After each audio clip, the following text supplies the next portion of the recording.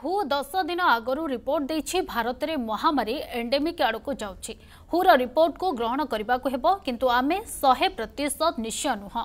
প্রতি মডেলর উপর তল থাকে এ ক্ষেত্রে বি হইপরে আমি আশ্বস্ত হওয়া না লক্ষণ আসলে ডাক্তারখানা আসবা পরামর্শ দিয়েছেন স্বাস্থ্য নির্দেশক বিজয় মহাপাত্র কেরলের করোনা সংখ্যা বড়ি বড়ি চাল এবে ধীরে ধীরে কমুছি সেইপরি বর্তমান মহারাষ্ট্রের বড়ুচি পরে কমিব তেণু সেই মডেল দেখলে আমি ঢিলা হওয়া না যদিও আমি ভালো স্থিতি অছু আমার পজিটিভিটি রেট কম অছি হসপিটালাইজেসন হার কম অছি হলে বিপদ নিশ্চয় অছি আমার রাজ্যের কেবে বি বড়িপরে তেণু কটকা আমার রাজ্যের চালু রয়েছে ରହିବ। ନିଜ ଦାୟିତ୍ୱ ନିଜେ ନିଅନ୍ତୁ ବୋଲି କହିଛନ୍ତି ସ୍ୱାସ୍ଥ୍ୟ ନିର୍ଦ୍ଦେଶକ ବିଜୟ ମହାପାତ୍ର।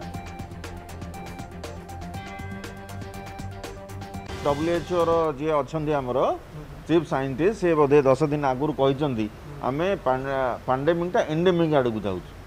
କିନ୍ତୁ ଏଣ୍ଡେମିକ୍ଟା ଯଦି ଆମେ କଣ୍ଟ୍ରୋଲ ନ କରିବା ଏଣ୍ଡେମିକ୍ଟା ପୁଣି ପାଣ୍ଡେମିକ୍ ହେଇଯାଇପାରେ।